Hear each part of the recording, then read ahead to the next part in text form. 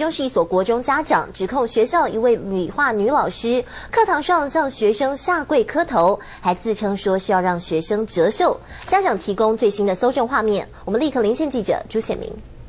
好，带您看到这一段呢，由学生家长所提供最新的搜证画面了。他们呢是指控了台中市的这一所的国中的这名女的理化老师呢，在上课的课堂上面突然间向学生来下跪，还呛说这样子的做法呢是要让学生呢来折寿，因为长辈的跪晚辈呢，根据老师的自己的说法，在农历七月时候呢，晚辈是会折寿了。当时的课堂上，吓得这个学生呢议论纷纷，事后呢都不敢讲话。虽然说这名女的理化老师事后有向学生道歉，但是呢学生还是回家呢向家长来。投诉了，结果呢，家长们总共是有四个班级早上的学校呢来理论，到底这名老师是不是任呢？根据这样子的一个画面的事件是发生在了今年的九月十一号的时候，当时的这名老师呢进到教室来已经迟到十分钟了，学生是好心的问说你是不是身体有不舒服的地方呢？老师呢突然间开始抱怨说呢，学生总是会向学校呢来投诉说了老师的教学不认真的部分，因此呢这名老师才会直接的在课堂上下跪。结果这样子的画面呢被学生拿手机的拍下来之后，向老向家长来投。投诉啊！家长也要求说呢，校方呢